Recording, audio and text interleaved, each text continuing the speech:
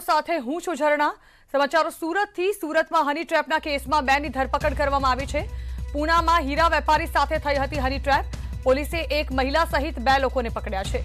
વેપારીને ફસાવી ત્રણ લાખ રૂપિયા પડાવ્યા હતા. પોલીસના મતે હની ટ્રેપમાં કુલ નવ આરોપીઓ છે. સીસીટીવીના આધારે પોલીસે અત્યારે બેની ધરપકડ કરી લીધી છે. વધુ માહિતી સંવાદદાતા કીર્તેશ પટેલ આપી રહ્યા છે. કીર્તેશ, હની ટ્રેપમાં બે લોકોની ધરપકડ કરવામાં આવી છે, પરંતુ કુલ નવ લોકો સંડોવાયેલા હોવાનું સામે આવ્યું છે. જાણવા માંગે શું શું હલચલ ચાલી રહી છે આ કેસને લઈને ત્યાં? બિલકુલ સુરતમાં ઘણા લાંબા સમયથી હની ટ્રેપના નામે લોકો સાથે છેતરપિંડી અને તોડબાજીના કિસ્સાઓ સતત સામે આવી રહ્યા છે. ત્યારે એક હીરા વેપારી સાથે પુણા વિસ્તારમાં હની હીરા વેપારી હની ટ્રેપનો શિકાર બન્યો હતો, જોકે આ સમગ્ર મામલે હીરા વેપારીએ પુના પોલીસમાં ફરિયાદ કરતા પોલીસે સીસીટીવીના આધારે બે યુવાનો સહિત એક મહિલાની ધરપકડ કરી છે. જોકે સમગ્ર કેસમાં નવ જેટલા આરોપી છે.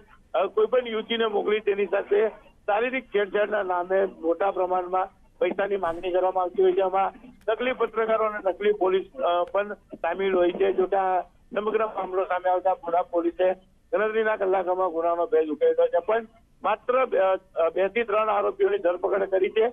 તેના કેસમાં નવ જેટલા આરોપીમાં બાકી આરોપીઓની ધરપકડ નથી જી, આભાર કીર્તેશ.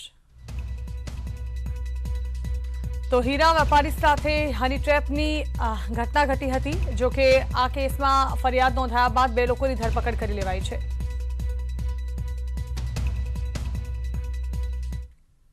અન્ય સમાચારો, ખેડામાં બાર તસ્કરી કેસમાં વધુ ખુલાસા થયા છે. તપાસમાં વધુ એક બાળક અમદાવાદમાં વેચાણું ખુલ્યું છે. મુખ્ય આરોપી માયા દલાલ, મોનિકા શાહ, પુષ્પા પટેલિયા, તપાસમાં ડિલિવરી કરાવવા નૂરબાનો આયા નામની નૂરબાનો હોવાનો પણ ખુલાસો થયો છે. આરોપીઓ ડિલિવરી કરાવવા આયાનો ઉપયોગ કરતા હતા. તો અમદાવાદમાં બે લાખ રૂપિયામાં બાળકનું વેચાણ કર્યું હોવાના સમાચાર પણ સામે આવ્યા છે. આયા નૂરબાનુ પઠાણની અમદાવાદ રહેતી હતી. દીકરીને સરોગસી માતા બનાવી તેણે બાળકનું વેચાણ કર્યું હતું. બાળક લેનાર દંપતીની નડિયાદ પોલીસે તપાસ શરૂ કરી છે. આયા નૂરબાનુની દીકરી અંગે હાલ પોલીસ મૌન સેવી રહી છે.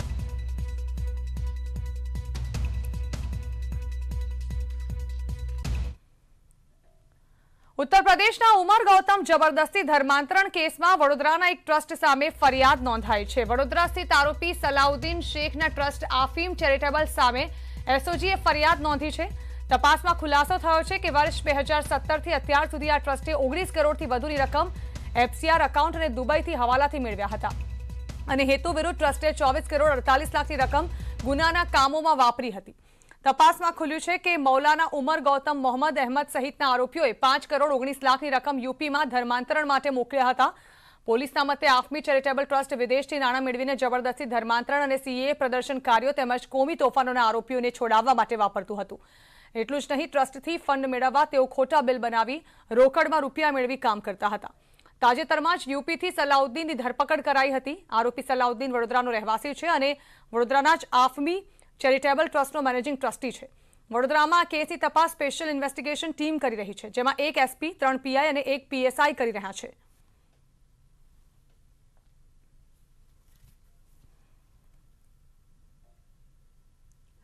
સૌરાષ્ટ્ર યુનિવર્સિટીમાં કથિત માટી કૌભાની તપાસ. કૌભાનો રિપોર્ટ આજે સિન્ડિકેટમાં મુકાશે. રજિસ્ટ્રાર જતીન સોનીને ક્લીન ચીટ મળે તેવી શક્યતા હાલ જોવામાં આવી રહી છે.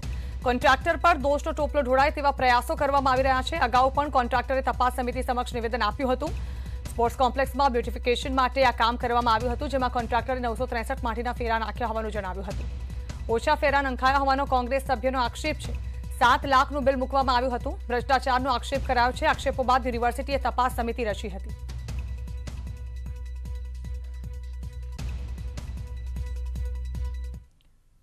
રાજકોટમાં આવકવેરા વિભાગે મેગા ઓપરેશન હાથ ધર્યું છે. ચોવીસ કલાકથી ત્રણસો અધિકારીઓ કરી રહ્યા છે અહીં તપાસ.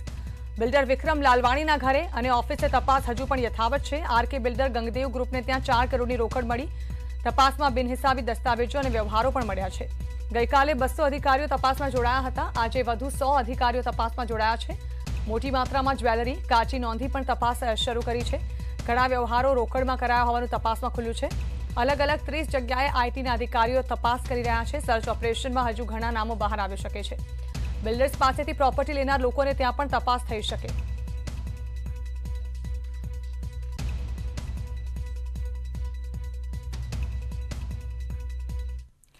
અમદાવાદની નવી મધ્યસ્થ જેલમાં મારામારીની ઘટના સામે આવી. અહીં કાચા કામના કેદીઓએ હોબાળો કર્યો. દવાખાનામાં દસ દસના ગ્રુપમાં જવાનું કહેતા મામલો ગરમાયો હતો. ટોળું ભેગું થતાં નિયમ પાળવાનું કહેતા મારામારી કરવામાં આવી. જેલ સહાયકને માર મારી તેની વર્દી ફાડી નખાઈ. રાણી પોલીસ સ્ટેશનમાં હાલ દસ કાચા કામના કેદી સામે ફરિયાદ નોંધાઈ છે.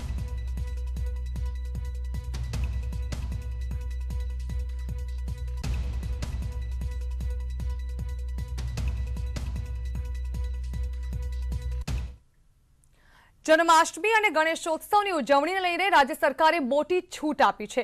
ત્રીસ ઓગસ્ટે એક દિવસ માટે રાત્રિ કર્ફ્યુના સમયમાં ફેરફાર કરી રાત્રિના એક વાગ્યાથી કર્ફ્યુ અમલી બનશે.